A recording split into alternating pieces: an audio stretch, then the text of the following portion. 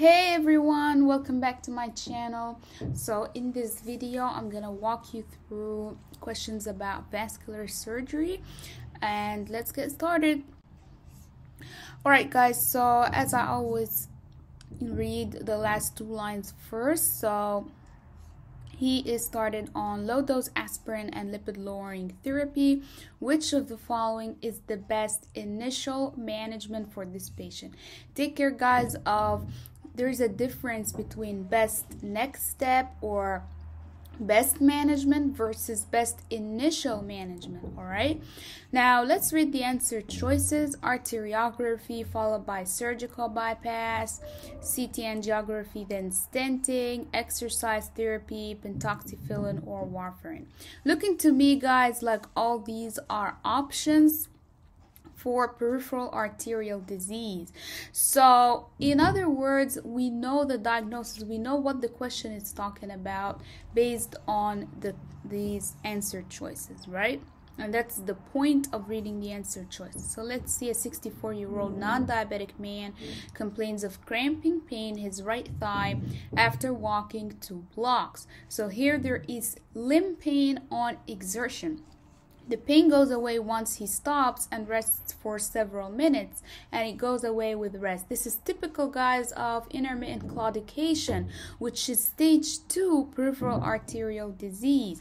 He is an ex smoker with 35 pack year history with no history of heart disease or stroke. He's excluding, guys, atherosclerosis elsewhere in the body because peripheral arterial disease is a form of atherosclerosis. On physical exam, femoral pulses are normal, but the popliteal and dorsalis pedis pulses are diminished on the right leg. And that's probably, guys, what is causing him the symptoms. The fact that these distal pulses are diminished indicates that the atherosclerosis is in these arteries. Now, the next thing we do is a bedside test guys called the ankle brachial index. Here we check the blood pressure in the brachial artery and the blood pressure in the lower limb. Normally guys blood pressure in the lower limb is higher than the upper limb. So we are expecting if we divide the blood pressure here by that here to be at least one. Normally it should be over one right in this patient, he has a 0.98 on the left and 0.72 on the right. And in fact, the right side is affected more in this patient because his pulses on the right leg were diminished. So right now, this patient needs treatment.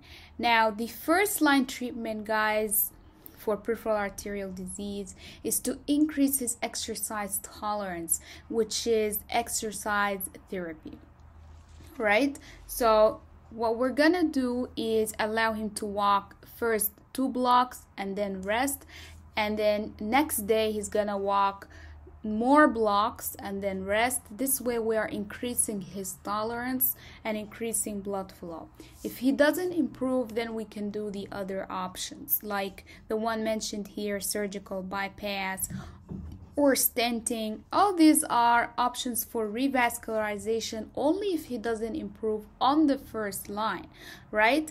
And he's already on antiplatelet and lipid lowering therapy, which is essential here to prevent further thrombosis, right? Because this is a form of atherosclerosis. So the initial management always includes lifestyle changes here exercise therapy. And then only when he doesn't improve on that or he gets worse or he gets pain on rest then we can start looking for the other options of revascularization whether open surgery and bypass or stenting. Now warfarin's anticoagulant is not needed here. We need an antiplatelet which he or is already taking and pentoxifylline will not work in this situation. Next question, guys. Alright, so on examination, the left lower leg is cold and mottled without swelling. Femoral pulses are palpable and symmetric. Pedal pulses are present on the right and absent on the left. without finishing the question, guys, I know that this patient has some sort of ischemia on the left leg because it's cold and mottled with absent pedal pulses, right? Vascular surgery is consulted, which of the function should be considered in this patient should also be considered.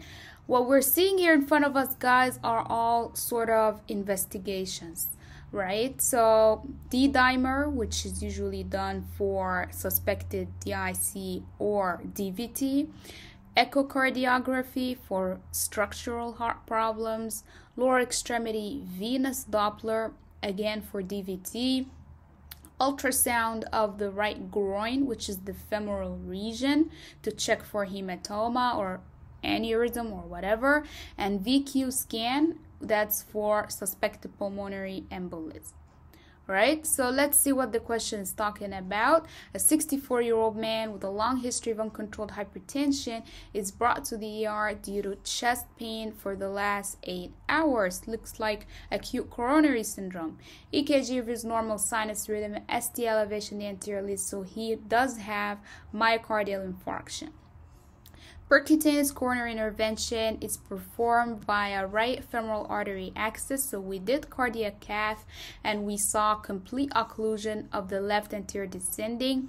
So we treated this with stenting and therapy. Now, a week later, six days later, this is what happened, and that's what the question is asking about. The patient developed sudden onset of severe left leg pain. So, post MI, guys, why would someone get leg pain and ischemia, acute limb ischemia with absent pulses after myocardial infarction? Here, this is a complication of myocardial infarction, guys, in that the infarcted chamber of the heart becomes weak. So the blood there, because it's non-contractile, is static. And stasis is a risk factor for thrombosis. So when a thrombus occurs on top, called a mural thrombus, it can send emboli to the lower limb and that's what's going to affect his leg and make it cold and mottled right? I need you guys to contrast this with the previous question in that this person's lower limb is not like this. This was the lower limb of the person in the previous question with already established atherosclerosis in the lower limbs and peripheral arterial disease. Here however this patient's vessels in his lower limbs are clear the difference is that an embolus, a thromboembolism, reached it from the heart and suddenly occluded the limbs, called acute limb ischemia. And for this reason, I don't need to do investigations in his lower limbs. Rather, I need to do investigations in the heart. I need to look for the mural thrombus in the heart because he had a previous MI and when I look for it, I'm gonna figure out yes, this is what's sending this thrombus to his lower limb. So the next best step, guys, is to do echocardiography. Now, why wouldn't I do ultrasound of the right groin? Because he had a femoral access, right? It makes sense. There may be, for example, um, an aneurysm or hematoma at the femoral artery, right? And maybe this is causing thromboembolism to the distal vessel. However, guys, if there was anything wrong with the femoral artery, it will be manifest in the femoral pulses. Here they're palpable and symmetric. Number two, the femoral artery access he had was on the right side, but the problem here is with his left leg. So take care guys of these questions. And obviously it's not anything related to deep venous thrombosis so we're not gonna choose D-dimer nor venous Doppler nor VQ scan. He's not suffering pulmonary embolism at the moment. All right next question. All right so i read the labs first guys and then the answer choices. Labs here show uh, serum creatinine is slightly elevated LDL is high and hemoglobin A1C is high as well. Looks to me like kind of metabolic syndrome. Which the following is most strongly associated with aneurysm progression in this patient? So he already told me the diagnosis. This patient has an aneurysm. I suspect it could be an abdominal aneurysm given his you know, labs suggesting metabolic syndrome. And all the answer choices here, guys, are risk factors for metabolic syndrome and risk factors for abdominal aortic aneurysm. He's asking which of these is the most strongly associated without even reading the question. Is it active smoking, anticoagulation, his exercise activities, probably he's sedentary, high LDL, hypertension, or uncontrolled diabetes. Alright, guys, this would be a factoid, and you don't even need to read the whole question. So, the most strongly associated factor, in fact, is active smoking. Now, this is because active smoking, guys, disturbs the tunica media. It put like the activates enzymes like elastases that break down the media layer making it weak and causing progression of the aneurysm.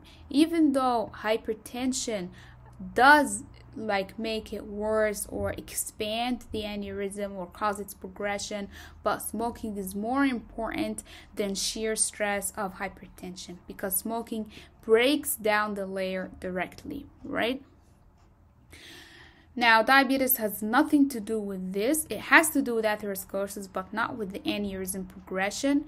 And LDL also has to do with atherosclerosis, but not with aneurysm. Now, for completeness sake, we're just going to read the question here. It is incidentally found an aneurysm 3.5 centimeter is not the threshold for repair yet. We need it at least 5.5 or above in males and 5 in females in order to consider repair.